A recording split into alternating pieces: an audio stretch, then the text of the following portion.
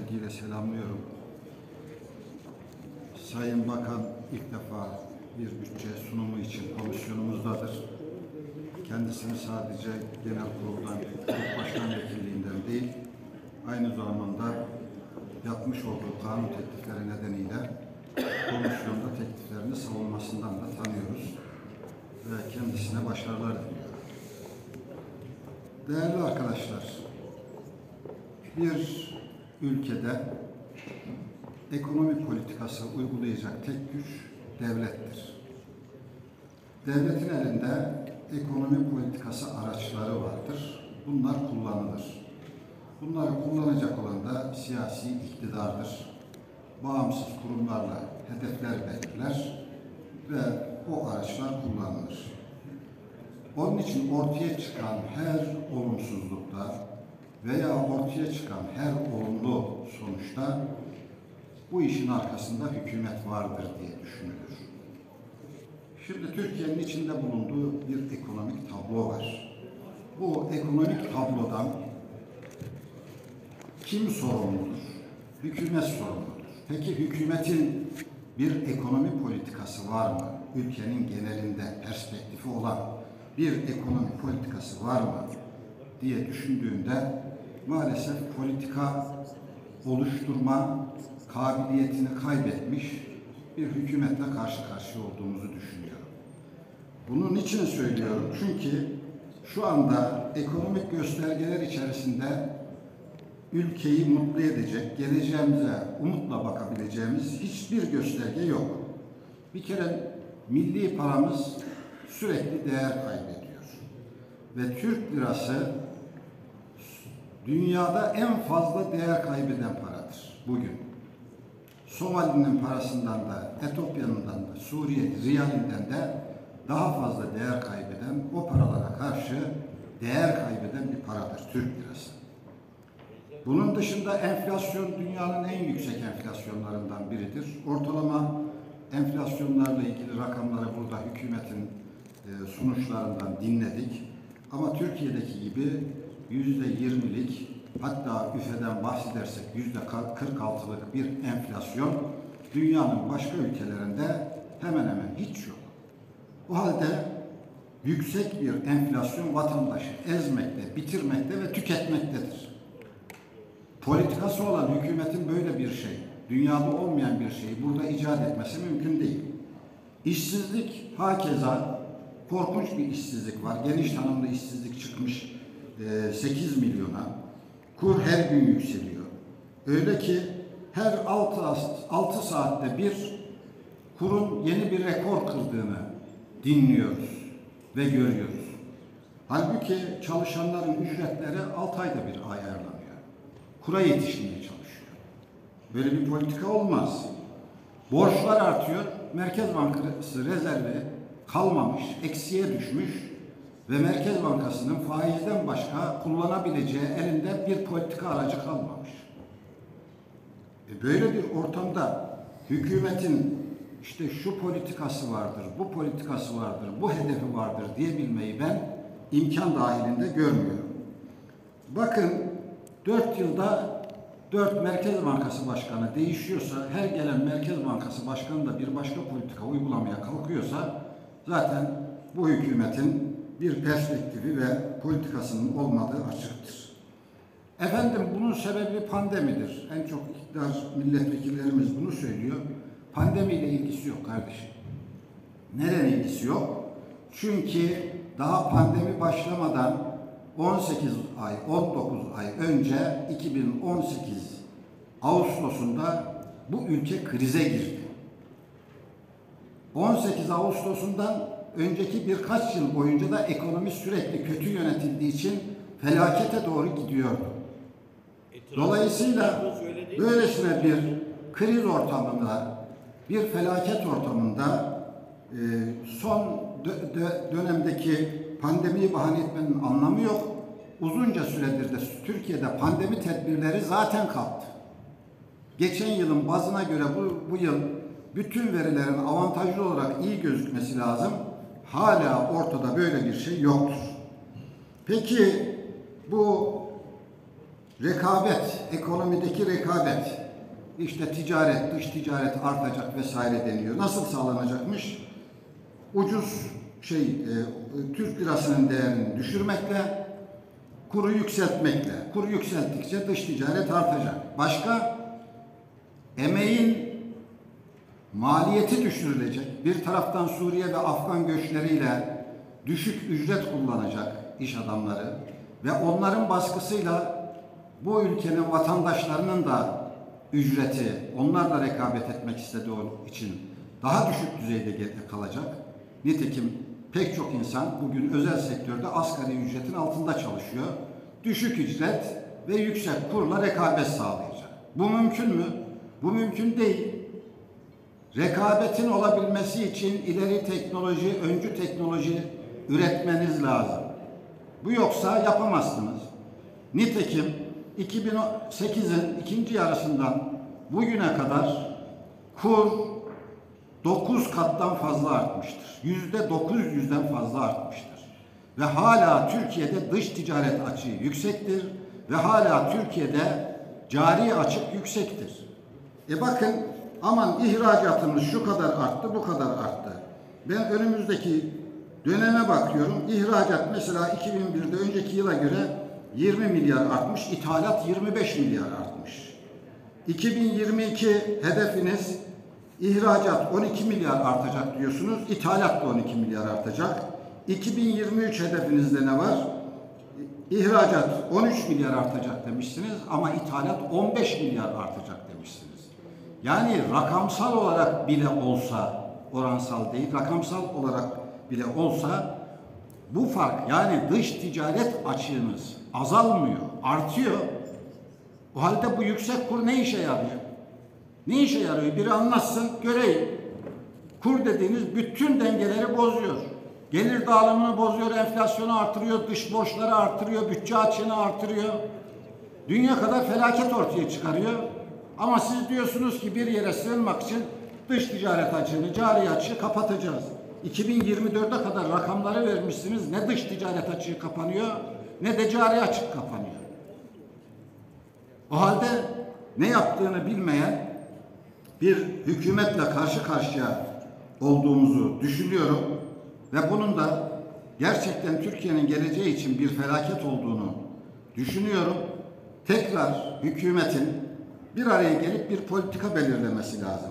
Bugün Sayın Cumhurbaşkanı'nın iş adamlarına hitap eden konuşmasıyla bu ülkede ekonomi politikası uygulanmaz. Bazı şeyler toparlarsanız sevinirim. Bak faizi düşürdük kredi almıyorsunuz. Olmaz böyle bir şey. Görürsünüz ha kabilinden bir hükümet iş adamlarına hitap eder mi ya? Yok öyle diyor. Yok öyle 25 kuruşa simit diyor. Demek ki aynı dönemlerde simit satmışız. Benim simit sattığım yıllarda simit 25 kuruştu. Bir ortak yönümüz varmış onu öğrendim buradan. Teşekkür Hepinize ederim. saygılar sunuyorum. Değerli arkadaşlar böylece e, müzakerelerimizi tamamlamış olduk. İhracatımız artıyor. Hem ihracat rakamları hem de cari işlemler açığında orta vadeli program hedeflerimize ulaşacağız ve ihracatımızı dünya ihracatından aldığı pay az da olsa artarak yüzde bir e, oranına ulaşmış durumda. Ancak ihracatımızdaki bu artışın nedenlerini tartışmamız gerekmekte. Bugün sabahtan beri yapılan da bu. İhracatımızdaki artış yurttaşlarımıza bolluk ve refah olarak geri dönüyor mu? Kilogram başına ihracat tutarı neymiş, ne olmuş? İhracatımız içinde yüksek teknolojili ürün oranı ne? İhracatımızın yapısı hakkında bize ipucu verecek bu verileri incelememiz gerekli. TÜİK'in dış ticaret istatistikleri Mayıs 2021 raporunu incelediğimizde ihracatımızdaki yüksek teknolojiyi gerektiren ürünlerin payı Mayıs 2020'de %3.8'miş. Mayıs 2021'e geldiğimizde bu oran %2.7'ye düşmüş. Yüksek teknoloji gerektiren ürünlerin ihracatımızdaki oranının 2000'li yılların başında %6.73 olduğunu, gelişmiş ülkelerde bu oranın %20'leri geçtiğini, kilogram başına ihracatın 2014'te 1.59 dolarken 2021 Ağustos ayında 1.11 dolara düştüğü düşünüldüğünde ihracat rakamlarındaki rekorların sebebinin bugün Selin Hanım'ın da gayet güzel bir şekilde açıkladığı gibi rekabetçi kur politikası, ucuz emek ve sizin de belirttiğiniz gibi dünyadaki tedarik zincirlerindeki bölgeselleşme eğilimleri olduğunu görmekteyiz.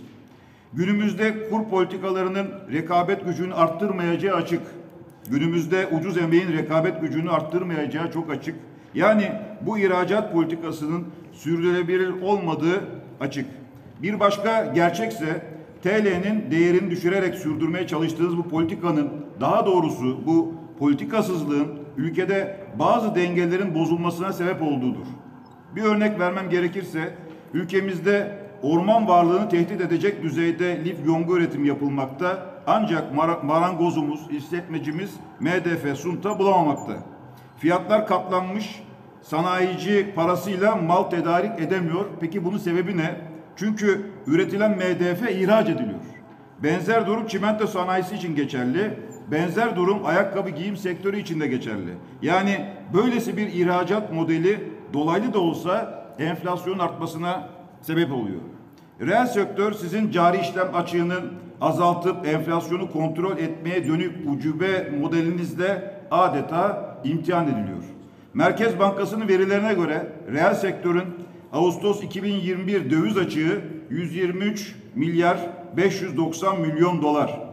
Ağustos ayı sonunda 8.30 olan dolar kuru bugün Cumhurbaşkanımızın grup toplantısına başladığında 10.30 liraydı. Yani Ağustos ayı sonundan Cumhurbaşkanı'nın yaptığı grup toplantısına kadar özel sektörün döviz açığı 247 milyar lira artmış. Cumhurbaşkanı grup toplantısını bitirdi. Dolar 10.56'ya çıktı. Özel sektörün döviz açığından kaynaklanan yükümlülükleri yaklaşık bir saatlik bir konuşmada 32 milyar lira arttı. Dakika başına neredeyse 500 milyon liralık bir artış var. Saniyeye vurursanız da 8 milyon 300 bin liralık bir artış söz konusu. Sayın Bakan bu politikasızlık ülkeyi adım adım felakete götürmekte ve artık iktidarınız bu ülkenin sırtında adeta bir kambur olmuş durumda. Sayın Bakanım, bütçe sunumunda bol bol ihracattan, ihracat rakamlarından bahsettiniz. İmalat sektörünün lokomotifi, istihdamın lokomotifi KOBİ'lerden tek satır bile bahsetmediniz. Esnafa ise çok az yer verdiniz. Oysa KOBİ'lerin bankalar olan borçları Eylül'de bir önceki aya göre 26 milyar lira artarak 993 milyon liraya çıkmış durumda. Milyar liraya çıkmış durumda affedersiniz. Bu borcun yaklaşık 55 milyarlık kısmı ise bankalar tarafından takipte.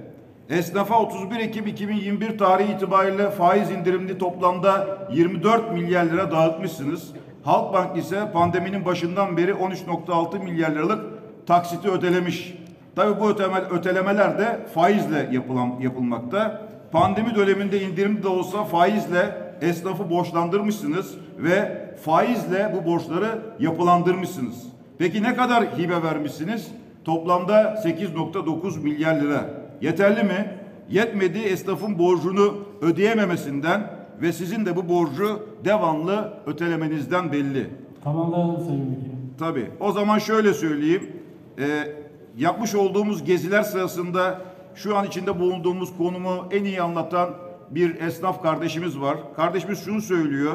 Esasında çatırtı 2019 yılında başladı. Pandemi kılıf oldu. Şimdi ise takke düştü, kel göründü diyor. Haksız da sayılmaz.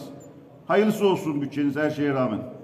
Değerli milletvekilleri, Sayın Bakan öncelikle görevinizde başarılar diliyorum. Hayırlı olsun.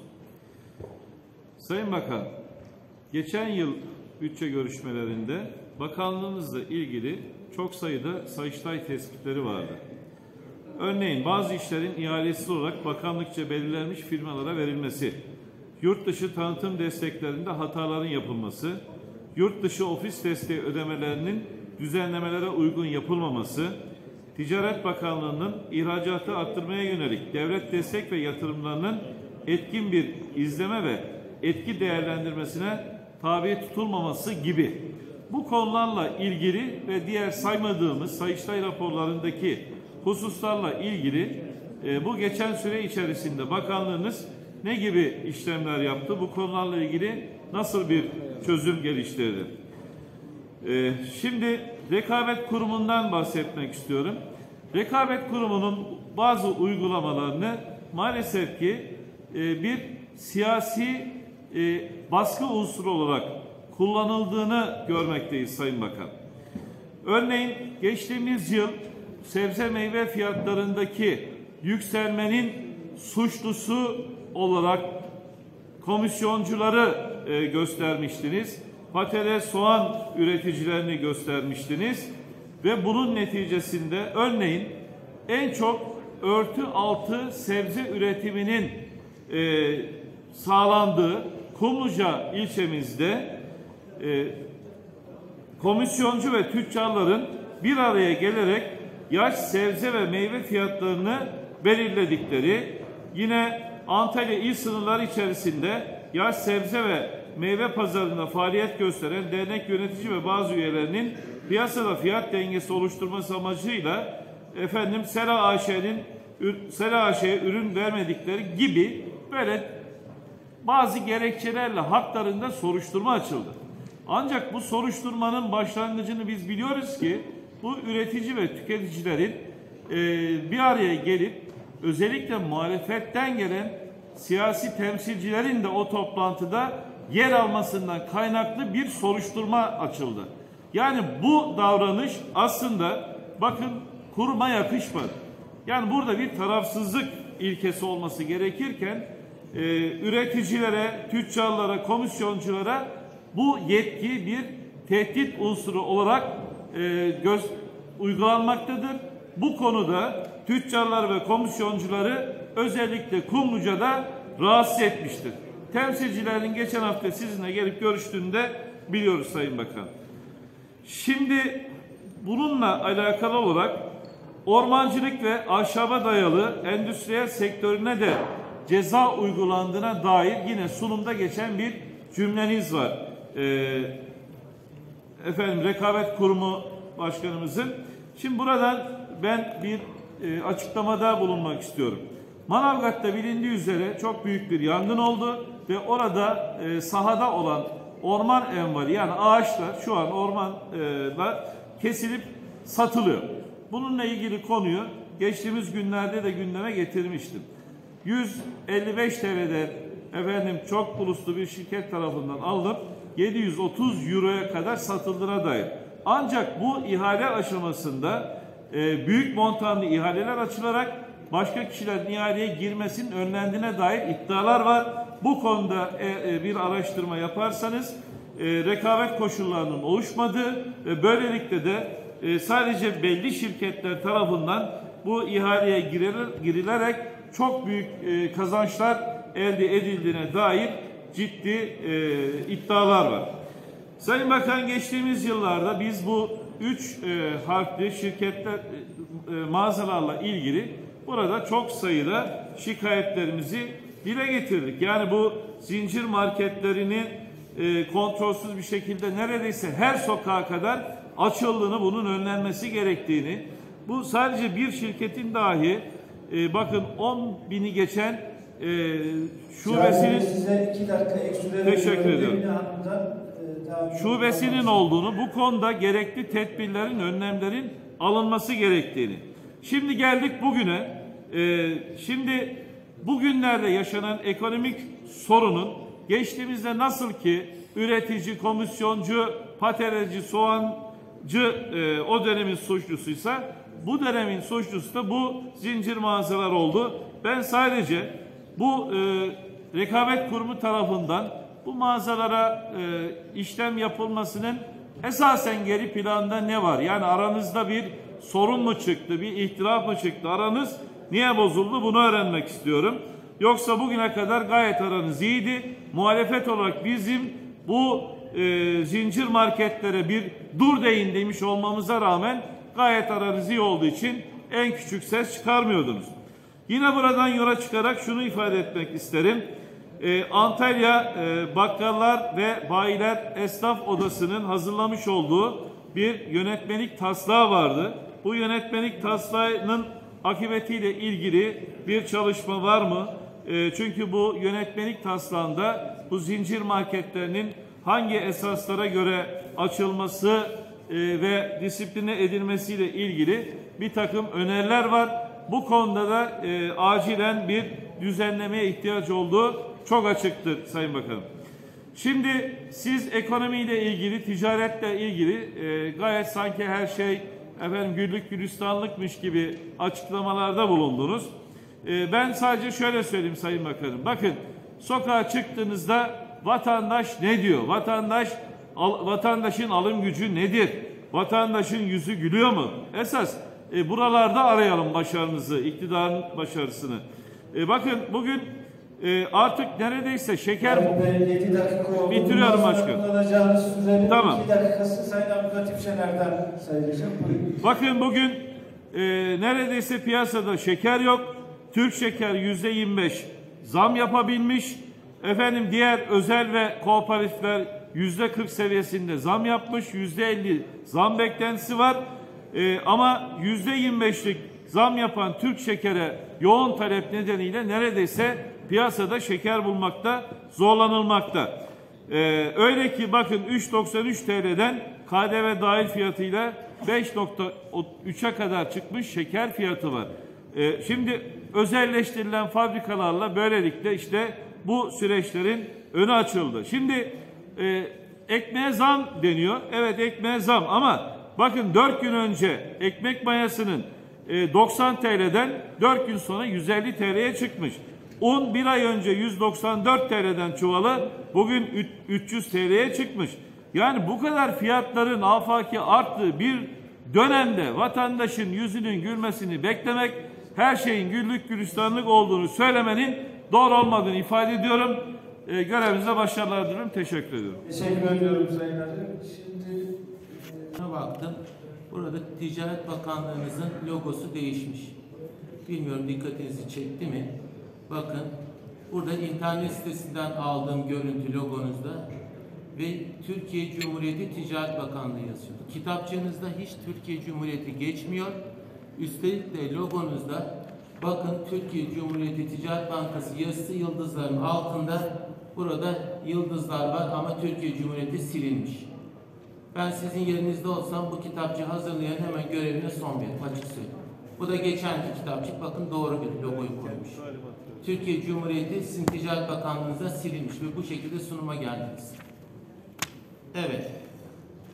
Ağır bir ekonomik buhranın yaşandığı bir dönemde Ticaret Bakanlığı yapıyorsunuz. Evinde tencereleri kaynamayan annelerin, okulda çocuğuna harçlık veremeyen babaların, okul kıyafeti alamayıp da intihar eden insanların yaşadığı bir ülke haline geldik. Ve kimse önünü göremiyor. Bu istikrarsız tabloda ticaret yapmakta oldukça zor. Tabii küçük esnaf en fazla bu tablodan etkilenmiş durumda. Küçük esnafımız Covid sürecinde de ağır darbe aldı.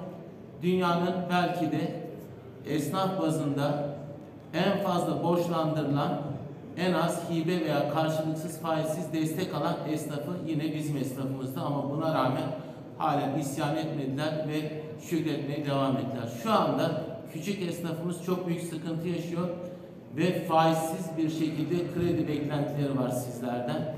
Bu kredi beklentisini bir an önce karşılamanızı sizlerden istiyoruz. Yine efendim biz düşük döviz kuruyla ihracatı arttıracağız. Bu şekilde de cari açığı kapatacağız. Ekonomik kalkınmayı sağlayacağız. Bunun bir modeli, bu örneği var mıdır acaba? Ben merak ediyorum.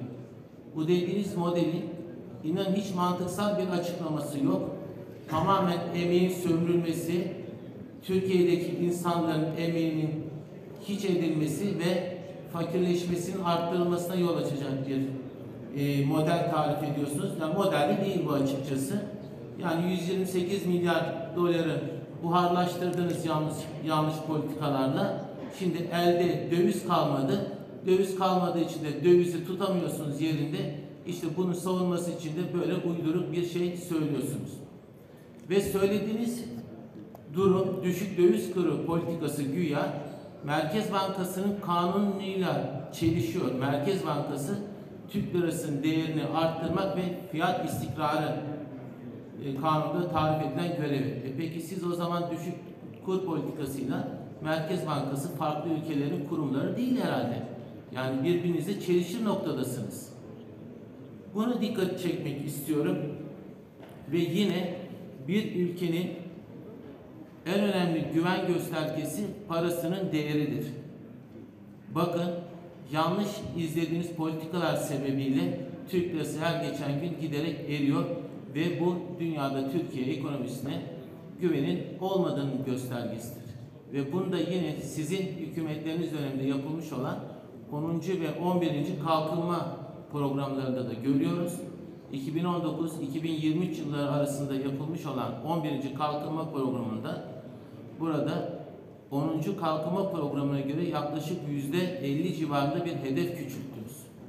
Ve burada arkadaşlar söylüyor ihracatımız şu kadar arttı, bu kadar arttı ama e peki neden o zaman 11. kalkınma planında hedefleriniz %50 oranında düştü?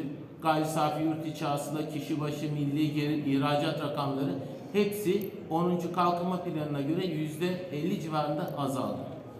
Sonuç itibariyle hayal ortamında gezmeyelim, ayaklarımız yere bassın, gerçekçi politikalarla, gerçek neyse onu ortaya koyup hep birlikte ülkemizi daha ileriye taşımak durumundayız. Son cümlelerinizi alalım. Peki teşekkür ediyorum. Ben belki daha fazla zorlamak istemiyorum. Bu vesileyle 2022 yılı bütçesinin ülkemiz ve milletimizin hayırlı olmasını temenni ediyorum. Sağ olun. Teşekkür ediyorum. ederim Sayın Başkan. Değerli Haziran, hepinize saygılarımı sunuyorum. Derin ekonomik kriz ve pandemi süreci tüm esnaf ve sanatkarları dar gelirleri çıkmaza sürükledi. Milyonlarca insanımız işsiz kaldı. Türkiye genelinde bu yılın ilk 9 ayında toplam 57.656 şirket ve ticari işletme tasfiye ve benzeri nedenlerle kapandı. Kapanan şirket ve ticari işletme sayısı geçen yılın aynı dönemine göre 10.700 daha adet arttı. Aynı dönemde 71.344 esnaf ve sanatkar işini terk etti. Sadece ilim olan Adana'da 10 yıl içerisinde 40 bine yakın esnaf kepenk kapattı. Geçtiğimiz günlerde kapanan küçük esnaf sayısıyla ilgili verdiğiniz rakamlar gerçeği yansıtmıyor Sayın Bakan. Sizin açıkladığınız salgın döneminde iş yerini kapatan küçük esnaf sayısı TOB ve teskin verileriyle örtüşmüyor. TOB ticaret sicili verilerine göre Eylül ayında bir ayda 1687 şirket kapanırken Ocak-Eylül döneminde kapanan toplam şirket sayısı 10 bine yaklaştı. Değerli Bakan, sizin açıklamalarınıza göre iş yerini kapatan küçük esnaf sayısı salgın döneminde 20 ayda 112.710. 2021 Eylül'ünde Eylül 2020'ye göre kurulan şirket sayısı %4, kurulan gerçek kişi ticari işletme sayısı %15.3, kurulan kooperatif sayısı %18.6 azaldı Sayın Bakan. Evet Sayın Bakan, yine e, tıpkı TÜİK verilerinde olduğu gibi burada da kapanan iş yerleri ve faaliyetlerine son veren küçük esnaf konusunda gerçek verilerin üstünün örtülmeye çalışıldığını söylemek durumundayım. Yurt çapında ziyaret ettiğimiz il ve ilçelerde bu durumu bizzat gözlüyoruz. Küçük ve orta boy işletmelerden tutun küçük esnafa varana kapanan iş yerlerindeki artış yanında güçlükle ayakta durabilenler de her an kapanma endişesi yaşıyor. Kira, elektrik, doğalgaz faturaları, ertelenen ve şimdi güncel vergilerle birlikte ödenmesi istenen vergiler, SGK primleri, her gün zamlanan fiyatlarla bir hafta önce aldığı fiyattan sattığı malı tekrar yerine koyamayan iş yerleri perişan durumda. İktidar ise rakam oyunlarıyla bu gerçekleri saklamaya çalışıyor. Hayatın içinde bu zorlukları yaşayanlar bizzat bu kötü gidişatın farkında ve gelecek kaygısı taşıyor. Ekonomik kriz ve pandemi sürecinde ayakta kal kalmaya çalışan esnaf ve sanatkar artık eve ekmek götüremez hale gelmiştir. Bankalarda asli görevlerini yapmıyorlar. Neden esnafa, kobilere destek sağlaması gereken bankalar alakasız şirketlere kredi veriyor Sayın Bakan? Çiftçinin traktörü ağırındaki ineği hazredilirken ilgili banka neden sözde haber ajansı hizmeti sunan yandaşlara kredi musluklarını açıyor? Ve neden devletin milletin parasını ödedikten sonra peşine düşmüyor, geri almıyor? Bu yoğurdun bolluğu nereden geliyor Sayın Bakan? Fakir fukaraya ekonomik kriz nedeniyle intihar ederken milyon dolarlar, milyar dolarlar neden ensesi kalınlara gidiyor? Türkiye'de fakiri daha çok fakir, yandaş zenginleri daha çok zengin yaptınız. Yılbaşından bu yana iç borç stokunda 126 milyar liralık, dış borçta ise 240 milyar 41 milyar dolarlık artış yaşanmıştır. Vatandaşların bankalara, finansman şirketlerine, varlık yönetim şirketlerine ve TOKİ'ye olan borcu tahsili gecikmiş borçlar da dahil toplam borcu 1 trilyon 114 milyar liraya ulaşmıştır. Vatandaşların vadesinde ödeyemediği için bankalar tarafından icraya verilen takipleri borçları 15.4 milyar lirası tüketici, tüketici kredilerinden 5.1 milyar lirası da kredi kartlarından olmak üzere 20.5 milyar lira düzeyinde bulunmaktadır. Gördüğünüz gibi Türkiye ticareti iflas etmiştir. Tüm bunlar yaşanırken ve halkımız vallahi açız, billahi açız. Gelin bakın buzdolabımız bomboş. Cebimde beş kuruşum yok haykırışlarıyla ekonominin freni patlamış kamyon misali yokuş aşağı gittiğini ifade ederken selefiniz Ruhsar Pekcan'ın şirketten bakanlığa ürün satması ve görevi kötüye kullanmasına ilişkin bugüne kadar neden hissesiniz çıkmadı Sayın Bakan?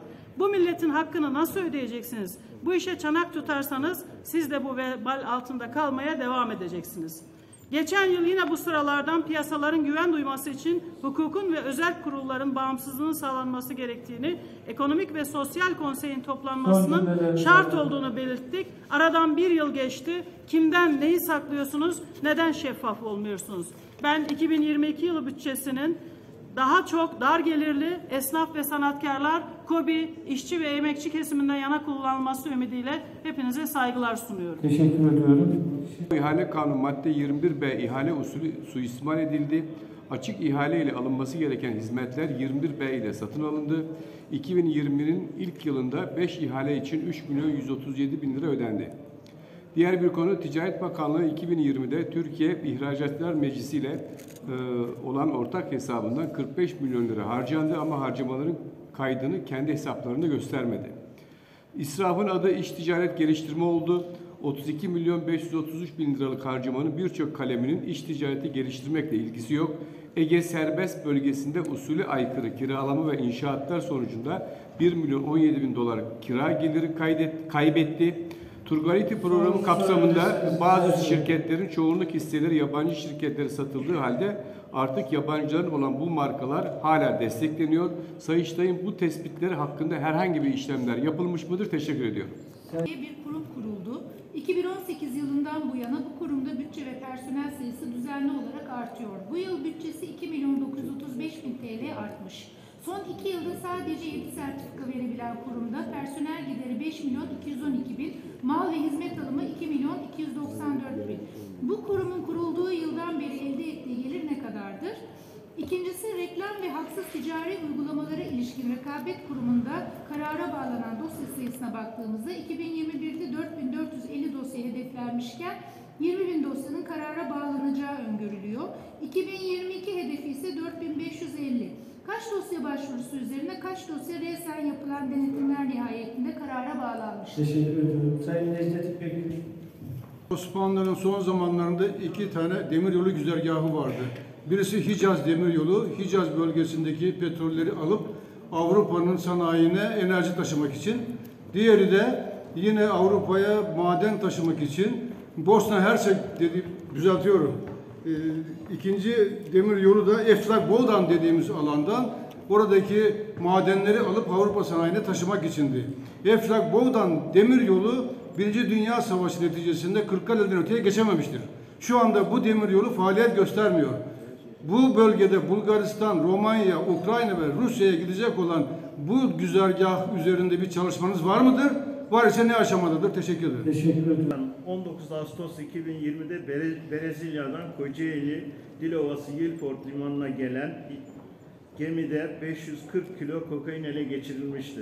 Ancak bu kaçakçılık olayla ilgili olarak ilk aramada 3 gümrük memuru tarafından herhangi bir maddeye rastlanmadığına dair tutanak tutulduğu ve ikinci aramada e, yaklaşık 500 paket 540 kilo kokain bulunduğuna yönelik haberler kamuoyunda yer almıştır. Bu konuyla ilgili ne düşünüyorsunuz? Teşekkür ediyorum. Sayın Orhan Sümer. Teş- Teşekkür ederim Başkan. Sayın Bakan, 2021 yılı içerisinde konusu Ticaret Bakanlığı'nı ilgilendiren kaçak ürünler yakalanmış mıdır? Bu ürünler nelerdir? Bakanlığımızın kaçakçılık önlemekle ilgili bir programı var mıdır? Ayrıca özellikle e, akaryakıt kaçakçılığı ile ilgili ben şunu öğrenmek istiyorum. Piyasada inanılmaz derecede 1000 lira, 1000 liranın altında kaçak akaryakıt piyasasında istasyonlarda satıyor. Kar haddi belli olan bu fiyatlandırmayı nasıl altından kalkıyor? Bunun denetimi var mıdır yok mudur? Ayrıca bazı istasyonlarda günde 3 defa 4 defa denetime geliyorlar. Bir kilometre ileride 1000 lira aşağısına satılan akaryakıt istasyonlarına niye gidilmiyor? Bunun gerekçesi nelerdir? Teşekkür ediyorum. Sayın Ahmet Vehbi Bakırlıoğlu. Zeytinyağı geliyor. Daha önce de bahsedildi bundan. Ee, biz bu konuyla alakalı ne kadar geldiği konusunda daha önce Uluslar Hanım'a çeşitli sorular yöneltmiştik. Cevap alamadık. Orada Cumhurbaşkanlığı gizli kararı olduğundan bahsetti. Gerçekten böyle bir karar var mı? Yani Cumhurbaşkanlığının bu konuda bir gizli kararı var mı? Onu sormak istiyorum. Yoksa ne kadar ihraç edildi, e, ithal edildi onu öğrenmek istiyorum. Bir de ayrıca bu ihraç kaydı kısa bir süreliğine kaldırıldı. Yaklaşık bir hafta boyunca kaldırıldı. O süreç içerisinde ne kadar Afrin'den zeytinyağı geldi, bunu kimler getirdi ve ne kadar ücretten getirdi onu öğrenmek istiyorum. Teşekkür ediyorum. Sayın İsmail Kaya. Buyurun. Teşekkürler Sayın Başkanım, değerli bakanım. Geçen ay Türk Kar diliyorum. Ticaret kar için yapılır. Kar elde etmek için çok üretmek, çok taşı yap- satış yapmak lazım. Çok mal satmak için de kaliteli, yüksek teknoloji ürünü ve kısa zamanda en az süre ile en ucuz maliyeti yakalamakla olur. Seri imalat şart. O da istikrarlı pazar şart. Bunun için teknoloji üretmek, rentabiliteyi sağlama gerekiyor. Bu nasıl olacak? Bu kaliteli bir malı en kısa zamanda en süre ile en az süre ile yapabilmek yapabilecek insan yetiştirmek. Teknoloji üretecek, yeniliklere ufuk açacak üniversitelerimizin oluşturulması çok önemli. Bu da dünya ile rekabet edecek üniversite üniversitelerimize destek vermek ve sahip çıkmakla olur. İktidar partisi geldiği günden beri kaliteli insan, kaliteli üniversite, kaliteli üretim yapan sanayici ile sürekli olarak uğraşmakta ve cenkleşmektedir. Küçük üreticilerin yaşaması için, yaşaması için ucuz üretim, ucuz nakil, pazara ucuz ulaşım için birlik oluşturulması lazımdır. O nedenle kooperatif, kooperatifleşmek şarttır. Oysa iktidar 19 yıldan bu yana kooperatifleri düşman gibi görüyor. İktidar sahiplerinde küçükler yok olsun, büyükler daha da büyüsün anlayışı hakim. İstediğiniz küçük esnaf kepenk kapatsın, ucuz işçi olarak büyüklere hizmet etsin. Sayın Bakan, bu toplumsal barışı bozar, toplumsal patlamalara sebebiyet verir. Devlet küçük esnafı gözetmek ve korumakla mükelleftir. Küçük esnaf dünyanın her ülkesinde korunup kullanmaktadır. O nedenle AVM'ler şehir merkezlerinden 10-15 kilometre dışarıda yapılmaktadır. Bizde ise tam tersi şehirlerin merkezinde yapılmakta hem de haddinden fazla. Şehirlerimiz AVM istilasına uğramış vaziyette. Yakındır. Ülkemiz AVM çöplüğüne dönecektir. Kalkınma, ticaretin artması ithalatla ol- olmaz. İktidar, iktidara geldiğiniz 2002 yılından bu yana sürekli ithalattan yanasınız. İthalat kolay.